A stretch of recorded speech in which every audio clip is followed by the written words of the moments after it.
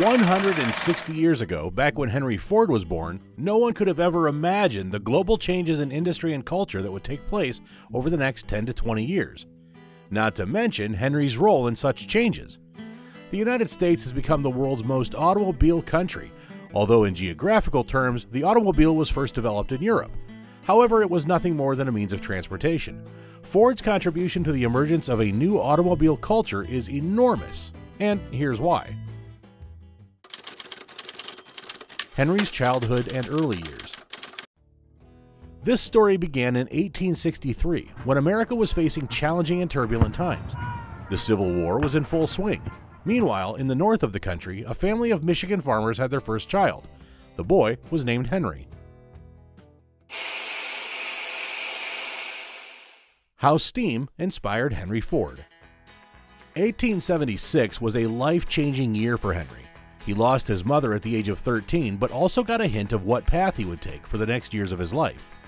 The hint, rumbling and fuming, passed his father's wagon on the way to Detroit. It was a locomobile. Just to make it clearer, a locomobile is a tractor with a steam boiler instead of the common gasoline engine. Henry started to pick the machinist's brains about it. Proud of such an engineering marvel, he eagerly told the boy the way the steam wagon worked. If not for that event, there might not have been any Ford Motor Company. In 1878, without saying a word, 16 year old Henry left for Detroit. After working here and there and gaining experience, he was hired as an engineer at the Edison Illuminating Company, founded by the brilliant Thomas Edison. Yes, the very Thomas Edison. In case you don't know anything about Edison, he was one of the major inventors of his time incandescent light bulbs, movie cameras, and the first music players. He was involved in the invention of all those things. We will talk about him in our upcoming videos. Well, let's get back to Henry. He was 30 years old, and it was 1893. A German Otto two cylinder engine ended up in his hands, so he redesigned the engine and adapted it to a four wheeled, self propelled carriage. It was Henry Ford's first vehicle that could properly travel. Just think about it. It was 1893. There was no internet, no dedicated literature, not even a mentor. Nevertheless, Henry did it. It was a great success. Win on Sunday, sell on Monday. The Edison Illuminating Company management didn't approve of the chief engineer's hobbies, and as a result, Henry resigned in 1899 when the choice of priorities had become a point blank question. After all, Henry sold his first vehicle so he could get the money for constructing an improved model, a delivery van. Backed by the mayor of Detroit and assisted by several businessmen, Ford managed to accumulate enough money to create the Detroit Motor Company. In that project, Henry assigned himself the role of a common engineer with a salary of $150 a month. A year later, after selling only 22 cars, the company collapsed. The cars were expensive and inferior to their competitors. No sales, so Ford decided to stimulate them, dedicating himself to the construction of sports cars. He chose sports cars for one simple reason winning a race or even setting a record was the best advertising for any car company at that time. Win on Sunday, sell on Monday, Henry said. Ford's first car was ready in 1901, just in time for the start of the 10 mile circuit races. The race was won, and the prize fund was used to establish his own company, Ford Motor Company. But that was only the beginning. In 1902, Henry built two more cars that made him famous all over America Ford 999 and Ford Arrow. The cars had identical structure. The first was fiery red, while the second one was bright yellow. Each had an 18.8 liter engine. 18.8 liters! The Dodge Challenger with its 6.2 looks like a little economy car.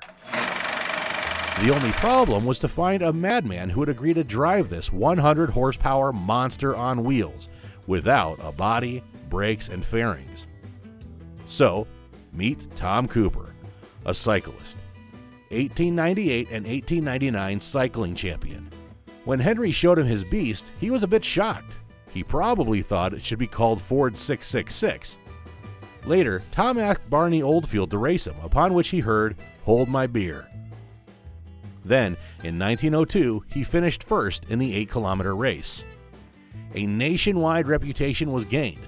The charter capital for the new company derived mostly from the money won, and the road to realizing the dreams of the young Henry Ford was opened. Ford, an independent spirit. June 16, 1903 is considered to be the date of the Ford Motor Company's founding. In theory, it is so. With the money raised from winning races and the help of a coal magnate, Henry managed to hire 12 workers, but the car assembly still took place in a brick garage of 76 by 15 meters on Mack Avenue. So far, it has been a subassembly of cars from third party components. The next step to the crown of America's automobile king was the purchase of a controlling 51% stock.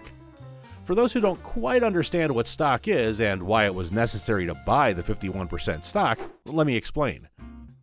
A stock is a share in a company. The percentage of stock you own is your share in the company. The bigger part of the company you own, the more control you have over it. And if you have that 51% of the stock, that means you own most of the company. So, whatever you say will happen. So let's proceed with our story. On November 22, 1905, Henry finally managed to buy 51% of the stock. However, he was forced to sacrifice the revenues from selling the already successful Model N. Instead, he completely abandoned any third party components. Ford was on its way to full independence. This process ended only in 1913. The birth of Tin Lizzie. Even though orders for the Model N increased greatly, the work on the Model T started in the experimental room of Ford's factory on Piquette Avenue about two years before the car was announced to dealers on March 19, 1908. The car was the brainchild of a 12 member engineering team led by Ford. The Model T was first presented to dealers on October 1, 1908, with prices ranging from 825 to $1,000 depending on body type. The design of the Tin Lizzie, as it was affectionately called by customers, was extremely innovative and reliable. The frame was pressed from strong, lightweight, vanadium alloyed steel. The frame featured a four cylinder engine based on a cast cylinder block, which was another outstanding feature for that time not to mention the specifications of the 2.9 liter engine. It produced 20 horses and could accelerate the car up to 45 miles per hour. In the past, shifting gears was a real mess. Ford developed a special gearbox for the Model T with simple and easy to understand pedal controls. There was no need for a clutch at all because the pedal had three positions neutral, downshift, and upshift. There was also a brake pedal. Instead of a gas pedal, there was a lever behind the steering wheel. In modern cars, there is a lever to control the windshield wipers.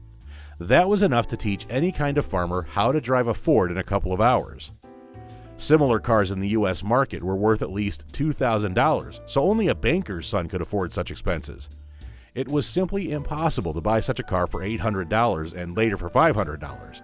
That's why the Tin Lizzie attracted queues of farmers, clerks, salesmen, and people who just cared about their freedom of movement. We are not surprised by the enormous sales of the Model T. Only in 1909, more than 12,000 cars were sold. The next year, 19,000, and by 1912, the total annual production of Ford cars was 70,000 items. Tin Lizzie was about 90% of the world's car fleet, and that was the car that put the world on wheels. The price of the base version had dropped to $290 by the time the last Model T rolled off the assembly line on May 27, 1927, and 15 million cars had been sold. Only the Volkswagen Beetle was able to surpass that record in the greatly expanded market after World War II. How Henry Ford invented the assembly line. Wait. How is this possible? How many people do you need to attract in order to assemble each year half a million cars in craftsman conditions, then sell them at a minimal price and make a good profit? That's what Henry Ford is all about. He developed the idea of the flow production process, implementing it in its most efficient manner by 1913. Simply put, he almost invented the assembly line and managed to make the assembly process several times cheaper and faster. In the 260 meter squared factory, there were light and perfectly ventilated halls in which belt conveyors were installed. The frame was installed at the beginning of the conveyor belt, and at the end of the belt, a finished car was pulled out. Each worker performed a specific operation. It was not a big deal. Once the part was delivered, the worker installed it, and the conveyor belt supplied the next vehicle. No extra fuss, no squatting, and no hustling around the workshop. Production and assembly steps were organized sequentially so that parts were transported to the assembly point by the shortest route without any hassle. This reduced the chassis assembly time from 12 and a half hours in October to 2 hours and 40 minutes by December 30th, 1913. Every part in the shop moves, boasted Ford in 1922. By purchasing parts in large quantities, Henry was able to reduce their price. Moreover, thanks to such highly optimized production, the cost of the finished product was not much different from the cost of the parts. A 15 minute lunch break, including time to go to the bathroom, was the only break in the boring routine of monotonous work. But the workers were paid 5 bucks a day, working only 8 hours, which were the best conditions in the United States.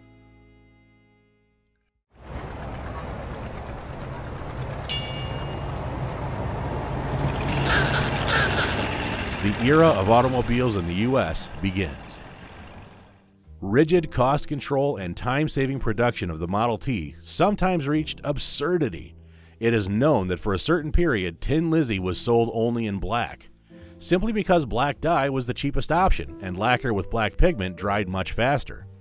Henry Ford's statement that any customer can have a car painted any color that he wants as long as it is black is related to this. This phrase indeed was relevant, but only between 1909 and 1914, when the Tin Lizzie circulation was enormous. By 1927, Ford had become the sole proprietor of the entire production cycle, starting with ore mining and ending with the production of electrical components. By this time, the Tin Lizzie had become obsolete and was replaced on the assembly lines of Ford's plants by the Model A. The Ford A failed to beat the record of the Tin Lizzie, but it was also sold quite well, both in the States and in Europe. The price of the base model at the time was $390. The car was sold in more than 20 configurations, and more than 5 million copies were sold between 1927 and 1931. Also, the Ford A is famous for the fact that it was the first mass produced all metal V8 engine block, thereby marking the era of the V8 among American automakers. The Model A was still at the forefront of the global automotive industry in many aspects, but Henry's days ticked away. His son Edsel became the company's manager. The model range expanded, the world market faced global changes due to wars, but we will remember Ford cars as the world's first affordable, reliable, and unpretentious vehicle that gave millions of simple people the freedom to travel.